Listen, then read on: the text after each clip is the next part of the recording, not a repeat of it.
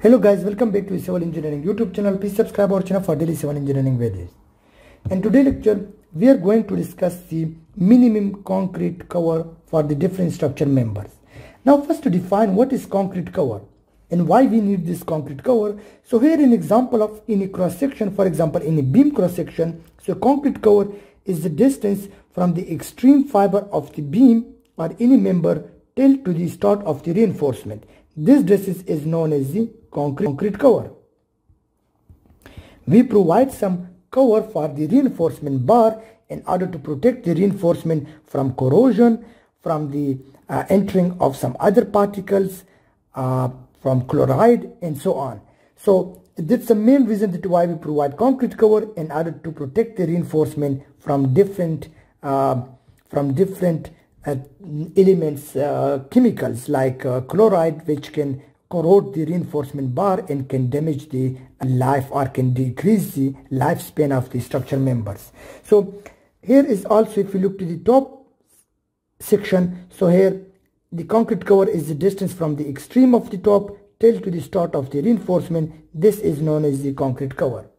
Now we have different concrete covers according to the standards uh, for different structure members. So the minimum concrete cover for the beam here is 25 millimeter.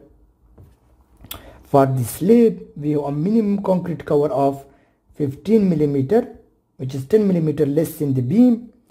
We have here staircase. For staircases, we must have to provide the minimum concrete cover of 15 millimeter, which is same as like slab.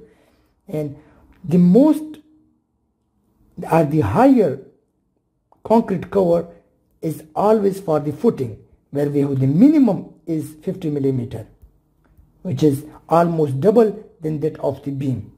If you look to this one so footing minimum concrete cover is two times higher than that of the beam. It is 25 millimeter while in footing the minimum concrete cover is 50 millimeter.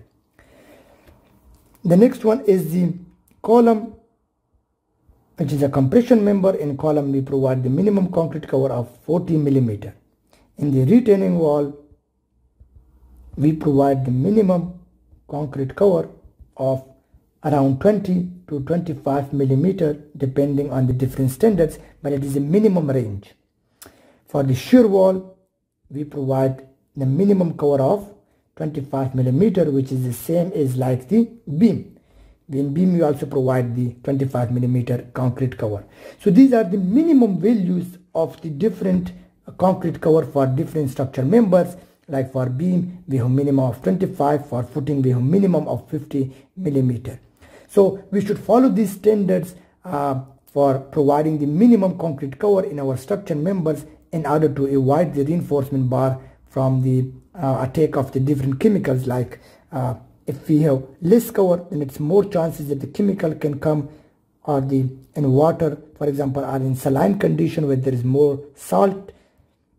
So chloride can come and can attack this reinforcement and can uh, do the chemical reaction with the iron present in the steel bar and can corrode. And due to the corrosion the lifespan of the structure can be reduced because when it corrodes then the tensile capacity of this beam of this steel of the steel reinforcement is decreased and when the tensile capacity is decreased it means that the load capacity of this whole structure member is decreased. So in order to avoid this thing we must have to provide the minimum concrete cover for our structure members. Hope you guys understood and don't forget to subscribe our channel for daily civil engineering videos